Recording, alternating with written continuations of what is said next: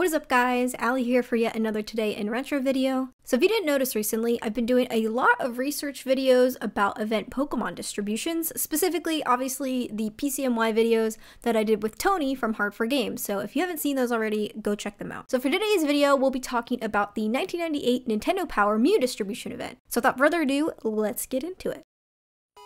So if you didn't grow up with Nintendo Power, let me set the scene. So Nintendo Power was a magazine created by Nintendo in August 1988 and discontinued in December 2012. It contained everything from game reviews, tips and tricks, giveaways, and a ton of other Nintendo related content. As a kid that grew up in the 90s slash early 2000s, I always look forward to getting Nintendo Power in the mail. It's really hard to explain the importance of it if it wasn't something that you grew up with, because of the internet, you know, information about gaming in general is really just super, super accessible nowadays. Personally, one of my favorite sections of the magazine was Player's Pulse, where readers got to send in letters to the staff and they answered questions, shared fan mail, and fan art, and all that sort of stuff.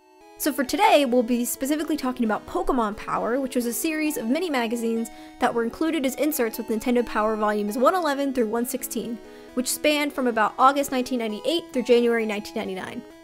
These mini magazines contained information and strategies for Pokemon Red and Blue, as well as a manga adaptation of the Pokemon anime, which was translated from the Japanese Pocket Monsters film comic series. So in the fall of 1998, Pokemon Power held a contest to win a Mew.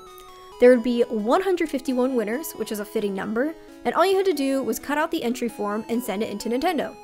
You could either send in your own game cartridge, or if you didn't have one, Nintendo would give you one, which I think is a pretty sweet deal. The entry form asks for general information like your name, address, age, gender, and telephone number. It also asked really interesting survey questions like, which are your favorite characters in the Pokemon game? Which are your favorite characters in the Pokemon television show? It's interesting to note that they split those two questions up because the anime kind of focused on or had more of a spotlight on specific Pokemon versus the games. You can kind of use whoever you want or whichever your favorite Pokemon are. Note that in the contest rules, it was required to answer the trivia question, what number is Mew? I wonder how many kids skipped that bit.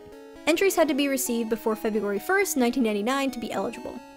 Nintendo of America was not responsible for lost cartridges in the mail, and entrants consented to be put on a mailing list. Classic. Fun fact, this was actually one of the most early known Mew distributions in the West. The contest winners were notified via mail by February 8, 1999 that they had won a Mew.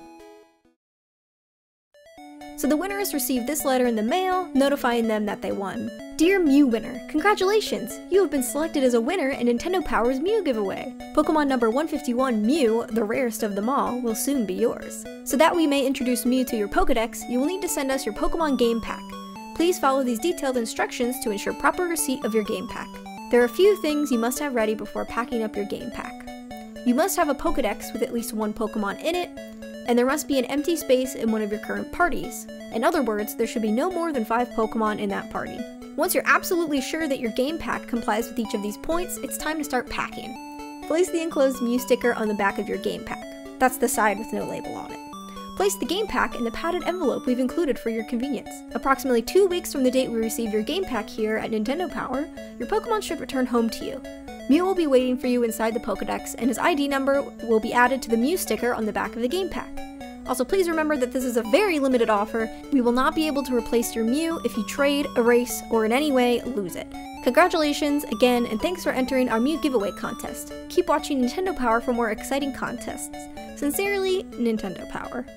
When I first saw pictures of this cartridge, I thought it was really interesting how homemade the label looked. Not that I was expecting something super fancy, but it just looks like they printed out a bunch of these Mew stickers and sort of slapped them onto the back of the cartridges. And considering that the winners themselves put the sticker on before sending it in, it makes sense. The cartridges were sent back to winners with the Mew sticker filled out with its RA number, return address number, so that they knew what cartridge to send out to which winners, and the Mew's ID in-game. Also, the OT of this Mew specifically was Mario, which seems pretty fitting. So that's pretty much it to this video. I hope you guys enjoyed it. I want to do more Pokemon history related videos like this. If you want to learn more, I highly recommend checking out the thread about this Mew on Project Pokemon. I'd also really like to thank Gridelin and Michael for their help on this video, Gridelin for all of the information and fact checking me, and then Michael for actually helping me out with sending me scans of Pokemon Power. So if you guys also want to see these Pokemon Power scans, I will also include a link to that in the description. So if you guys have any other topic suggestions for today in retro videos, please let me know, especially Pokemon specific ones because you guys know that is my jam. But uh, yeah, that's pretty much it. I hope you guys enjoyed the video. Make sure to comment, like, subscribe. Check out my Twitch. I stream every day around 6 to 7 p.m. Eastern. I'm also really active on Instagram, post a lot of retro gaming pictures over there. But uh, yeah, that's pretty much it. So I hope you guys enjoyed the video, and I'll see you around. Bye!